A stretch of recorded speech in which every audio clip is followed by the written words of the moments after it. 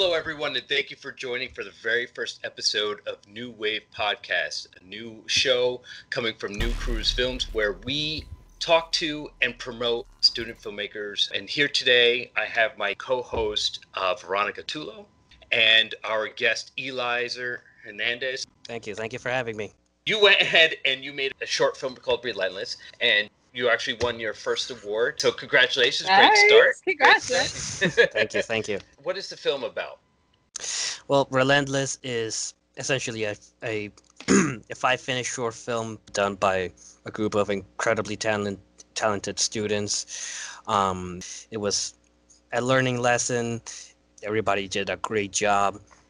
It, it ultimately looked better than my initial vision, ultimately. So, two weeks of pre production, three days of filming, two weeks of post production. Oh yeah, it's so funny. Whenever I I talk to people and I tell them that I do film, they're always like, "Oh, that must be so fun, just hopping on set and with your Ugh. camera." And I'm like, "No, No. no." And, and then I tell them, I'm like, "You have pre-production, you have storyboarding and shot lists and acting, and, blah, blah, blah." and they're like, "I didn't know it was that much work." Yeah, it's so much work. It's like it's rough, man. Yeah. Oh my gosh, it's so funny. Like people's reactions when you tell them exactly what you have to do for like a five minute short. It's like I haven't I haven't slept in weeks for this five minutes. oh my gosh, man! I I was editing until like six forty five a.m. for like five days straight. It's it's Oh. crazy, Yeah. but it's so fun. The skip mm-hmm. meals, the skip lunch, breakfast, and dinners, Yeah. just so we can do the editing. It's for at five a.m. for me to keep you up. Because like this one half second cut doesn't work, and you have to Yep. like do it all over again. In your case, it's at least it's cookies. That's protein and calories. In my case, it's mostly just coffee. yeah, yeah. Eli, so give us a little bit of history about who you are, where you came from. I'm Cuban. I was born and raised in Cuba. The one thing that makes me want to be a filmmaker, the one thing that I that makes me want to get into Hollywood, is because I hate Hollywood. Mm-hmm. I Yeah. I, I mean it in the most 100%. just the simplicity, the cookie cutter stuff, the all the it's it's all been done and it's all been repeated and I've seen it over and over and over. My reason for being a creative person is I want to get into Hollywood because I want to destroy it and change it for the best. As you being a filmmaker, Veronica, as well, um, and also a student filmmaker like Eli, um, your thoughts. I want to hear what you, your reaction off of what he's saying and, and how you feel about that too. I think when it comes to people who are making the movies, they're so focused on basing what they're making off of pre-established, you know, fan bases and ideas and stories. That they just want like more and more sequels and like remakes and and like based on books, but they're not really focusing on like originals, which is what I think, at least personally, they need to be focusing on. They need to be working on new content, giving people like new ideas, new stories. And I think that's where the next generation comes in because we grew up watching all these sequels and all these remakes and all these based on books, and we just want something new and something fresh and something exciting. Something that's not like what we've seen a hundred times before. And I think the idea of kind of like the next generation coming in and just taking everything over and recreating what Hollywood means is something that I'm very much looking forward to being a part of.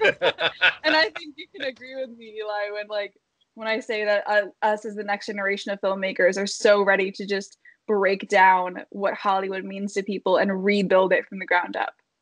So you're a student filmmaker, you're an indie filmmaker. what would you say is the hardest part of being, or like the most challenging part of being a student filmmaker and indie filmmaker? Learning to know when like you're wrong or learning to admit where your weakness or just admitting admitting your faults admitting your faults because things are going to go wrong and you can't control it and you have to like rely on your team to to make sure everything works out and and ultimately like learn to keep your cool. And and i think doing all that will help you keep your cool.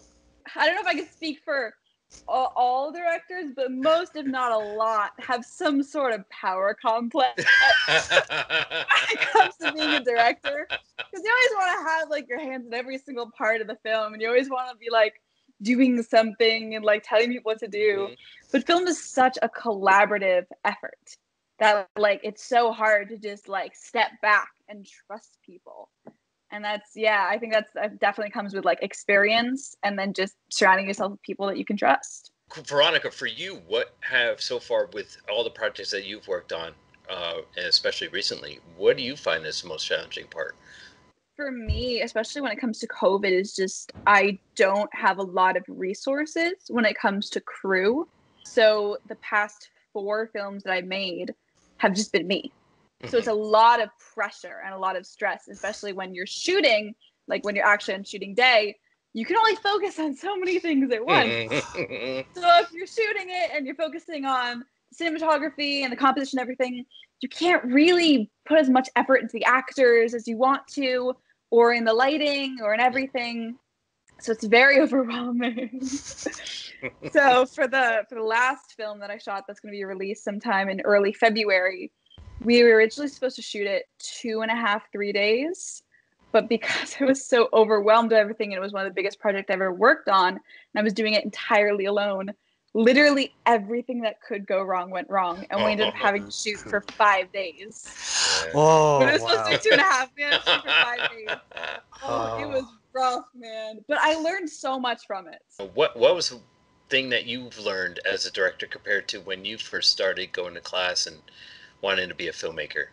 and I've just taken maybe like one, two classes on filmmaking so far. I have learned so much about really that directing isn't just about, you know, with the actors. It's it's there's so much you can do with directing. You can you can tell so many stories subconsciously with the the visual storytelling, you know, working on the composition, working with all the different uh, you know, heads of every like little department with the with the director of photography with the just ah, it's, just, it's so interesting like how much you can do and really how much i kind of power you have over the film but over like the artistic vision Directing is a, a is a beautiful and um, dangerous position to be in Mhm. by, all, by all means, all means. So, so for those of you who are listening and watching, Yes, Collaboration. interesting. Yeah, right.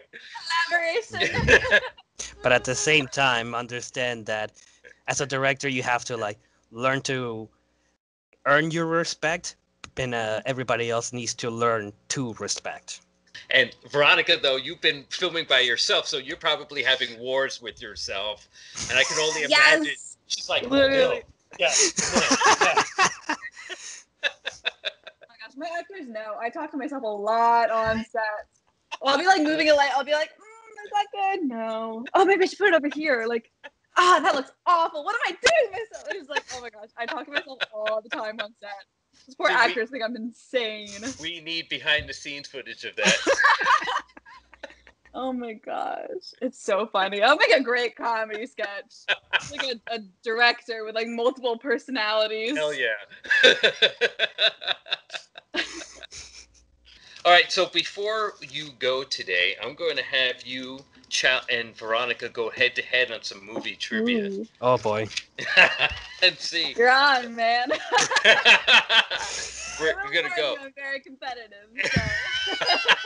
This should I be might interesting. This is- gonna sit here and look at the stuff. We're gonna go kick some ass. I'm going to first start off with the warm up question, and this is going to be a lightning round question. So the first person who can uh, name this, name a movie, uh, will get the point for this first lightning round. All right, you guys ready? all right i'm preparing myself mentally right? All right, Veronica, you ready? All Mm. good. Okay, here we go. What movie has featured someone being eaten by a shark? Jaws. Ooh, there we go. We got one. uh, Come on. that was easy. Sharknado. Oh yeah, Sharknado. Literally any of them, all of them. What are there like twelve? I don't even know. oh my god. I god stopped watching after three. All right. So here's another lightning round one. What movie has someone being stabbed in the shot in the shower? Psycho. Ooh, there we go. Now it's Ooh. tied up. What film uh, has someone being killed by forcing them to eat too much?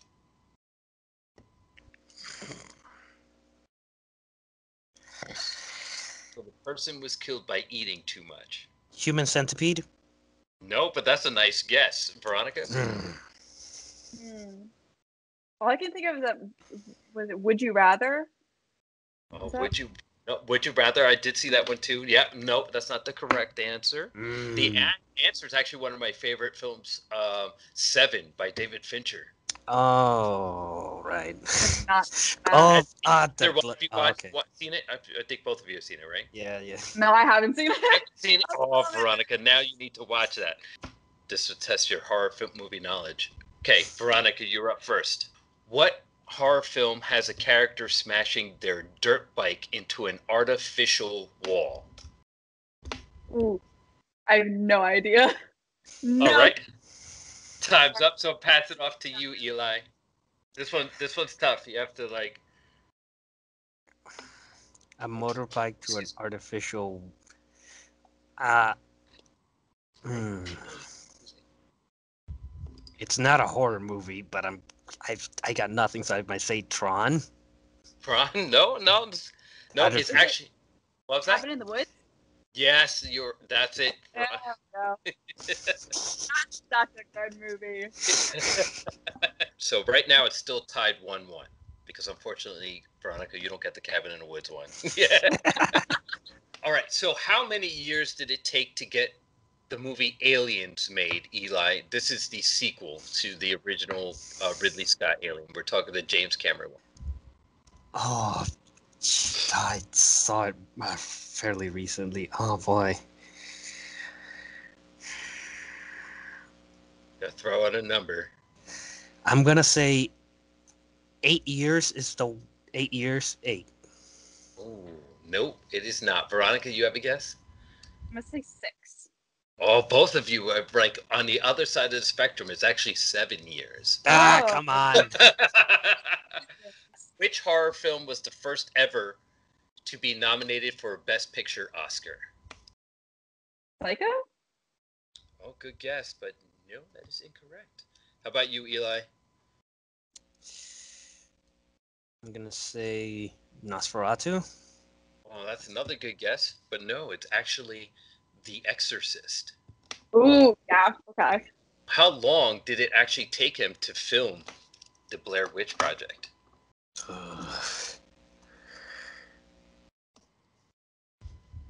I mean, I didn't really like that movie that much, so I'm gonna say like Neither I, but I'm gonna say a month. okay, that's a good guess. Uh, Uh, but you're incorrect. Veronica, you you're you go. Your- I'm gonna say turn. two years. Ooh, two years. All right. The actual answer is eight days. Oh, okay. Eight Not too days. bad. Eight days for Mm. them to make. All right. Just gonna test out your knowledge here with a classic. Which horror movie features a serial killer wearing a William Shatner mask? I don't know who William Shatner is. Yeah. Oh. Oh no. That's a no. no. All right. We'll give you. We'll give you a hint. He's the original captain of the classic Star Trek films and TV show. Wait, that's the Michael Myers one. Um, Halloween. Didn't There they you like spray go. paint a Captain Kirk mask? Yeah, yeah, yeah. yeah. oh yeah, that, oh that was my guess. yes, you are correct. Hey. she has now taken the big lead to get two to one. And I learned to that in William Shatner. There, you, that is probably the most important thing you learned right now. yes. Eli, I- I'm gonna give you a, a- an easy toss-up one and see if you test out your classic uh, horror films here too. Okay, Oh what color is Freddy Krueger's sweater? Freddy Krueger. Don't ask me what movie that's from. Red. Ooh, There's two colors, so oh that's yeah, it's it's it's it's a checkered shirt. It's a plaid shirt. It's like so it's black and red. Oh no, red. It's red is one of them. Veronica, can you steal that one from him? Yeah, it's red. Isn't it red and green? Yes, it is red and green. Right. Red and green. Yep.